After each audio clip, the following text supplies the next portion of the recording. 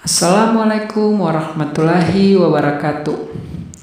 Malam ini saya akan membawakan kisah yang berjudul Rumah Pocong Jogja. Kisah ini berawal ketika kami keluarga pindah dari kota Malang ke kota Jogja. Namaku Adi. Aku punya dua orang adik yang bernama Mirna dan Andi. Hari itu aku dan keluarga pindah ke kota Jogja karena ayahku sudah pensiun dari pekerjaannya. Kebetulan di Jogja ada nenek dan kakekku. Singkat cerita kami pun tiba di rumah kakek. Dengan rasa gembira beliau memeluk aku dan adik-adikku. Rencananya kami akan tinggal sementara waktu di rumah kakek dan nenek sembari mencari rumah baru untuk kami tinggali. Selang beberapa hari, ayahku mendapatkan rumah yang cocok buat kami tinggali. Letaknya sekitar 5 km dari rumah kakek dan nenekku. Nak, apakah kamu yakin mau beli rumah itu? Tanya kakekku. Iya pak, saya yakin mau beli rumah itu. Kebetulan rumahnya dekat dengan sekolah. Jadi Mirna dan Andi tidak perlu naik kendaraan lagi karena jarak sekolah dan rumahnya hanya sekitar 200 meter. Kata ayahku. Tapi nak, itu rumahnya sudah kosong lebih dari 8 tahun. Menurut warga, mereka sering melihat penampakan hantu di dalam rumah tersebut. Jawab kakekku. Ah bapak, hari ini masih percaya kayak gituan. Kata ayahku. Keesokan harinya, ayah kembali ke rumah tersebut untuk mengecek keadaan rumah. Ayah ditemani oleh Pak Hamsa dan adik dari pemilik rumah itu. Sebut saja namanya Pak Tono. Pak Hamsa adalah teman ayahku dari mereka masih remaja dan Pak Hamsa juga adalah seorang imam masjid yang berada di komplek rumah tersebut. Ayahku dan Pak Hamsa serta Pak Tono mengecek seluruh keadaan rumah dari dalam sampai di luar. Terlihat rumahnya masih sangat layak ditinggali meskipun ada beberapa yang harus direnovasi karena sudah termakan usia. Itu sudah hal yang wajar karena rumahnya sudah kosong kurang lebih 8 tahun. Setelah selesai mengecek semua keadaan rumah, Ayahku berkata kepada Pak Tono bahwa besok saya akan datang kembali untuk menyelesaikan pembayarannya. Setelah itu ayah dan Pak Hamsa pamit pulang. Di perjalanan, tiba-tiba Pak Hamsa mengatakan bahwa rumah itu tidak layak ditinggali. Sontak ayahku kaget. Masa rumah yang masih keadaan bagus nggak bisa ditinggali? Tanya ayahku. Jadi begini ceritanya. Kata warga sekitar di rumah itu ada penghuninya. Konon jika ada warga yang lewat di depan rumah itu, mereka melihat ada sosok pocong dan kuntilanak yang berada di dalam rumah tersebut. Ujar Pak Hamsa. Aduh, kamu ini dari remaja sampai sekarang masih saja percaya hal-hal yang seperti itu.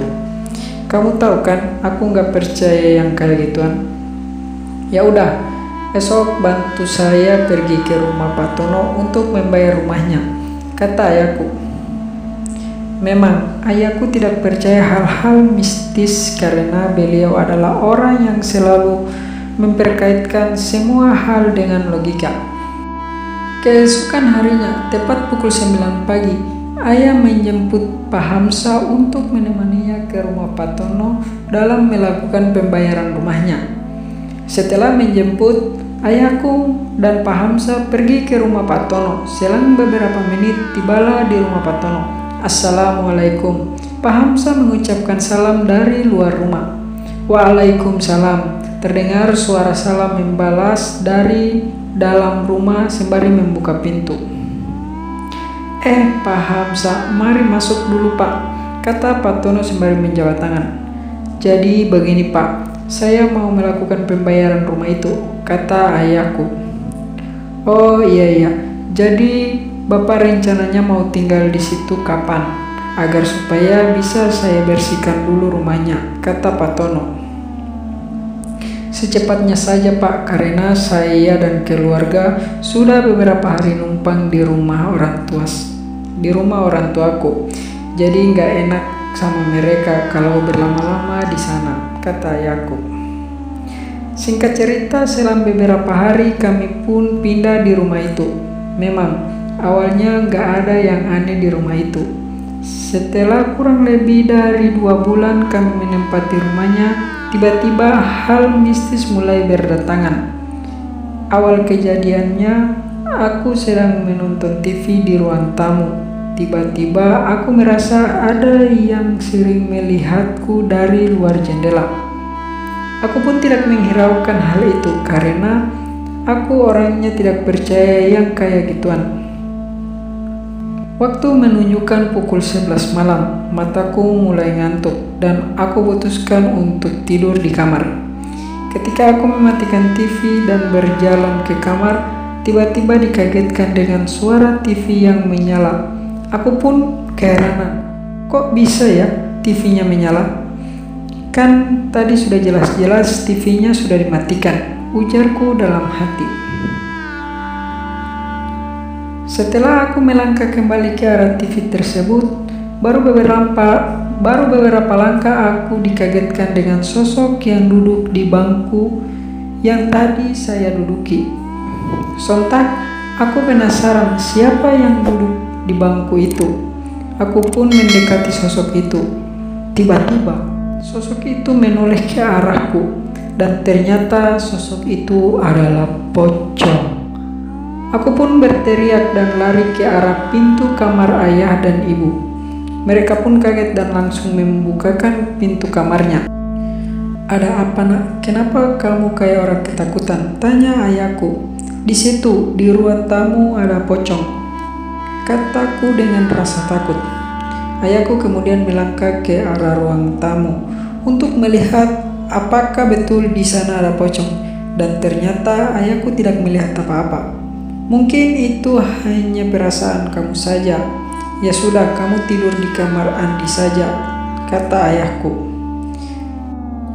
Selang beberapa hari, teror pocong pun mulai berdatangan. Kali ini adikku Mirna yang melihat sosok itu. Malam itu, Mirna terbangun untuk melakukan sholat subuh. Dia pun menuju ke belakang untuk berwudu. Pada saat sedang mengambil air wudhu, dia merasa ada sosok yang berdiri di belakangnya. Sontak ia pun menoleh ke belakang dan melihat tidak ada siapa-siapa. Sontak ia pun menoleh ke belakang dan melihat tidak ada siapa-siapa. Ia pun mempercepat tuduhnya dan pergi ke kamar untuk melakukan sholat subuh. Pada saat melakukan sholat, dia merasa ada yang mengikuti gerakan sholatnya dari belakang. Sesekali dia mendengar ada suara seperti mengucapkan kata amin dari belakang. Setelah selesai, dia pun menengok ke belakang dan benar saja, ternyata di belakangnya ada sosok pocong yang berdiri serta menatap ke arah Mirna dengan tatapan kosong. Mirna pun seketika berteriak dan dia pun pingsan. Ayah dan ibuku berlari ke kamar Mirna dan ternyata setelah membuka pintu kamar didapati Mirna sedang pingsan di lantai kamar dengan masih menggunakan mukena. Kemudian ibuku menyadari Mirna dengan menggunakan air yang diolesi di mukanya.